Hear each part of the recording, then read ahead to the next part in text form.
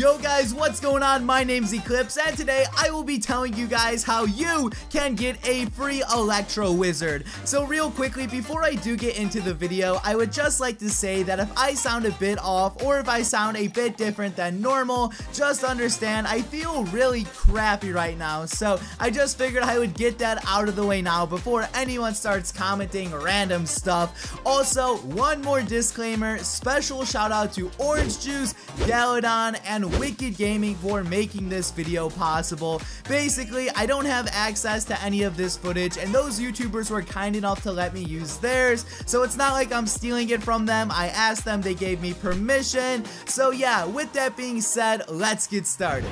This right here is what the menu looks like, and as you can see, there is the Electro Wizard Challenge, and it is free to join, and basically, if you can get 12 wins in this challenge, you get a free Electro Wizard. Now right here, as you can see, this is just like the deck builder screen. Now on here, you can build any deck in the game with any single card, even if you don't have it unlocked. Also, if you're looking next to that elixir button, that right there is actually like a random deck generator. So as I was saying, this is really cool because because you can make a deck with any card in the game, even if it isn't personally unlocked for you. And as I was saying before that, if you do get 12 wins in this challenge, not only do you get the same reward as a grand challenge, you also get a guaranteed Electro Wizard. And another thing that makes this so special is you can complete this as many times as you would like. So there is a chance that you can get enough Electro Wizards to fully upgrade the card before it even comes comes out. That right there is absolutely amazing.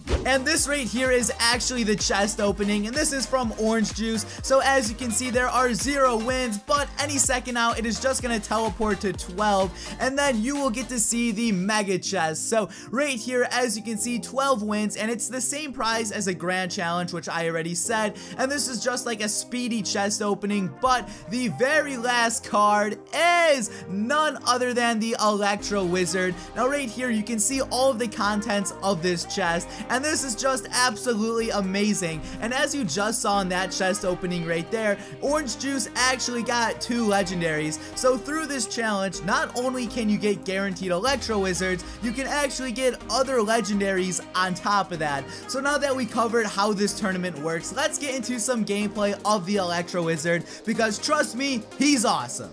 Hopping right into the first battle from Orange Juice, let's just see how this one goes. Now, real quickly, I would like to apologize if this one looks abnormally fast. Keep in mind, I didn't record this footage. This footage is all from Orange Juice himself. So again, he fast forwarded it, not me, but still, that's not too important because we're just here for the Electro Wizard madness. So right here, the battle is just a normal battle. Nothing too special, nothing crazy going on. But right there, there's the Electro Wizard. And as you can see, he just does some crazy zap tactics and takes care of that princess in just two hits. Now, from what I've heard, people have said the Electro Wizard, it's not like he's insanely overpowered, but he offers good value for 3 Elixir, so in other words, he's similar to how the Princess and the Ice Wizard play. Now, I do feel like he sounds extremely overpowered, and that's probably just because he literally zaps everything, but again, I have never personally used him, so I'm gonna have to wait and try him out for myself. But right there,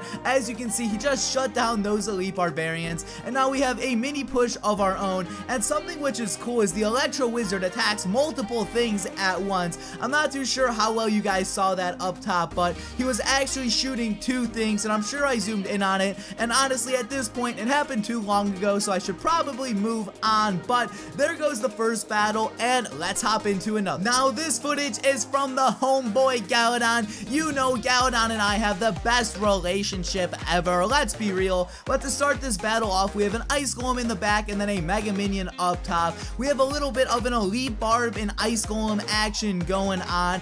And I actually have a quick question for you guys. When you deploy Elite Barbarians, do you deploy them so they split up into two sections, or do you make sure that they both stick together? Kind of a random question, but I'm just curious on what you guys do, so please leave a comment in the comment section below. But back on track to this battle, still nothing too interesting has happened yet. About a minute has passed, give or take, I guess, and still no major plays have been made. Now, Galadon, I see him down there with that Royal Giant. He's disappointed me just a little.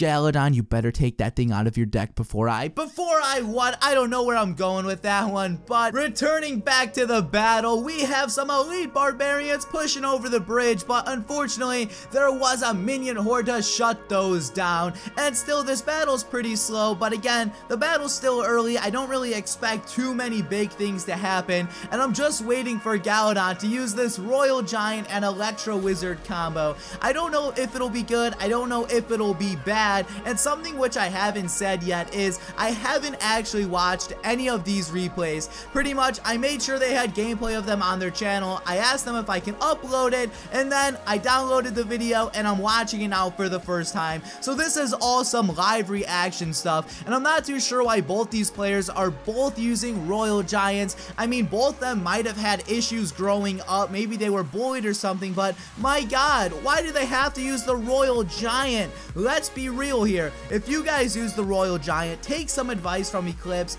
and do not use it!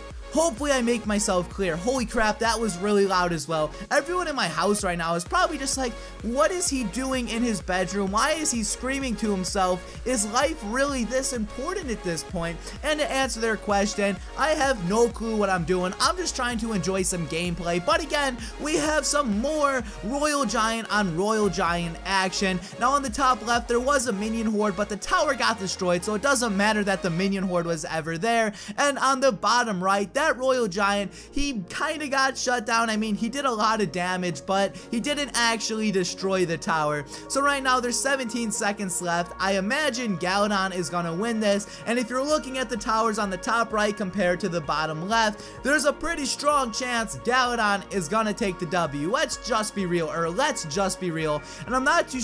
Oh my god, I just realized something. When you put the Electro Wizard down, he acts like a zap spell. Oh my god, how did I not realize that until now? Now, I'm sure there's a lot of people like Eclipse. You are the stupidest YouTuber I've ever met. I don't know how you have this many subscribers. I don't know why people watch your videos, but please end your channel. And for those of you people who are saying that, like, look, did you guys ever notice that until I pointed it out or what? That right there is actually pretty cool and I'm kind of stupid for not realizing it but oh well, Galadon won this battle so let's move on. Moving on to the third and final battle of the video and this one is coming from Wicked Gaming. Now one thing I would like to apologize if there's any crazy flashes or zooming in there. If you watch his videos it makes sense why he edits the way he does but in my video it might just seem kind of out of context I guess. And again, I haven't watched these videos, so I don't know how he's gonna edit exactly, but a majority of the time, Wicked edits his videos with some crazy zooming in and flashing, so I just figured I would get that disclaimer out there right now. Now, Wicked Gaming is on the bottom, and he's against the Game Hunter, so the Game Hunter's up top, and my friend Wicked is actually running spawners.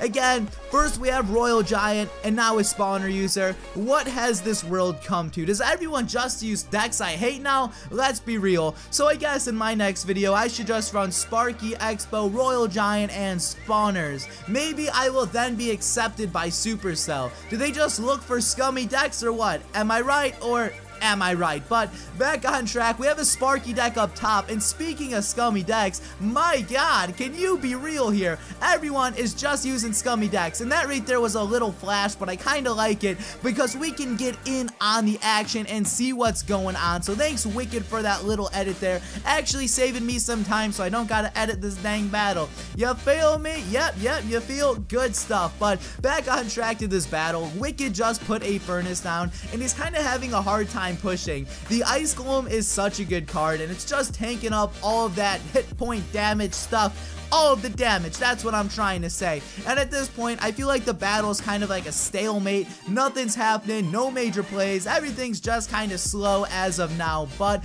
if you're looking at the timer, two times Elixir has just began. So now interesting plays should be made. We have some giant on giant action. Never mind, one of the giants turned. But let's just see if any of these players can get something off. Because as of now, the battle's extremely slow. I hate spawners, so this makes me not want want to watch the battle even more. But if you're on the left side right there, you can see a Sparky and an Ice Golem. Now we have a little zoom in there. There's the Electro Wizard going in, and I kind of want to see that bottom left, so please zoom out, please zoom out. Oh god, okay, I was afraid we wouldn't get to see Sparky there. Luckily, nothing special happened during the time it was zoomed in, but back on track to the video, we got some more action. Two Barbarian Huts. Oh my god, this seems miserable. I feel so bad for this dude up top. Like, let's be real. The top three decks I hate in Clash Royale, and these aren't in any order at all. Spawners, X-Bow slash Mortar, and Royal Giant. Those three decks right there will just about piss me off in any case.